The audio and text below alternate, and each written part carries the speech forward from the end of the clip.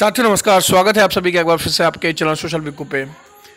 कुछ लंबे अंतराल के बाद हमारी आप सभी के साथ फिर से मुलाकात हुई है और किसी कारणोंवश मैं कई कई दिनों तक जो है आप सभी के साथ कोई भी अपडेट या इन्फॉर्मेशन साझा नहीं कर पाया था। और, कुछ असुविधाएँ थी, या थोड़ा व्यस्तता आप कह सकते हैं, थोड़ी व्यस्तता थी, जिस वजह से मैं वीडियो बनाने में असमर्थ था। हालाँकि अब ऐसा नहीं है। अब मैं आप सभी के साथ डे टू डे अपडेट देता रहूँगा। और अभी जो भी कुछ घटनाक्रम घटित हुए हैं पिछले कुछ दिनों में, यानी बात की जाए आपके एक हफ़्ते के अंतराल में जो कुछ भी घटनाक्रम घटित हुई है, वो मैं आपको आज के इस वीडियो माध्यम से देने वाला हूँ। और बैक टू बैक अब आपको वीडियोज़ मिलेंगी। एक दिन में चार से लेकर पाँच वीडियोस आपको मिलेंगे, जिसमें कि हर एक छोटा छोटा अपडेट जो भी मिस हुआ होगा, वो आप सभी को साथ साझा किया जाएगा पिछले कुछ दिनों में।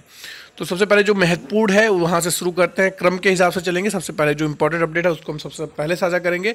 उसके बाद उससे रिलेटेड जो भी अपडेट्स होंगे, वो भी साझा करते चलेंगे। तो चलिए, उसी क्रम में हम शुरू करते हैं। आज का सबसे पहला अपडेट आप सभी के साथ साझा करूँगा सुप्रीम कोर्ट से।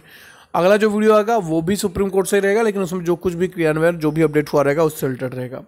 तो लेकिन अभी जो सुप्रीम कोर्ट में निर्णय लिया गया है E P S five pension के केसेस के लिए। उसके ऊपर क्या कहा गया है, उसमें क्या अपडेट है, वो मैं आपको सब साझा कर दूँ।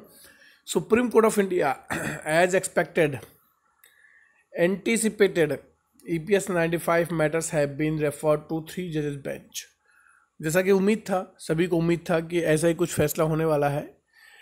फैसला ये नहीं था कि क्या फैसला लिया जाना था, मैंने आप सभी को बात पहले भी साझा किया था कि इसे रेफ़र किया जा सकता है तीन बेंचेस के जजेस के ऊपर। और जो उम्मीद था वही हुआ। सुप्रीम कोर्ट ने कोई निर्णय नहीं लिया है इसे रेफर कर दिया है अगले बेंचेस के तीन जजेस के बेंचेस के ऊपर। अब ये तीन जजेस के बेंचेस की सुनवाई करेगी और उसके बाद कुछ निर्णय लेगी। अब ये हो सकता है वो प्रोसीजर थोड़ा लंबा हो सकता है थोड़ा आ, जल्दी हो सकता है ये सुप्रीम कोर्ट के ऊपर निर्भर करता है लेकिन ये ये प्रोसीजर जो है तीन जजेस के बेंचेस के लिए रेफर कर दिया गया। यानी जो लंबा समय से आप सभी का मामला चल रहा है जितने लंबे समय से मामला चल रहे हैं उस मामले को और लंबी तब हो गया है मतलब कहीं ना कहीं और लंबित होने का ही एक तरीका है। क्योंकि तीन जज जब उसकी सुनवाई करेंगे, उसके बाद फिर वो निर्णय लेंगे तो लंबा हो गया काफ़ी प्रक्रिया। लेकिन सुप्रीम कोर्ट ने यह निर्णय ले लिया कि इसे अब अगले तीन जजेस के बेंचेस के लिए रेफर कर दिया गया है। अब ये देखना होगा कि तीन जजेस के जो बेंचेस हैं, वो कब इसकी सुनवाई करते हैं और क्या अपडेट आएगा। जो भी अपडेट आएगा, साझा किया जाएगा आप सभी के साथ। ये काफ़ी महत्वपूर्ण जानकारी थी। आशा करते हैं जानकारी पसंद आई होगी। राय कमेंट में ज़रूर दीजिएगा। शेयर कर दीजिएगा इस वीडियो को। अगले वीडियो में फिर मुलाकात होगी नए अपडेट के साथ। जल्द से जल्द। तब तक के लिए सब्सक्राइब करके बने रहिए। बहुत बहुत धन्यवाद आप सभी का।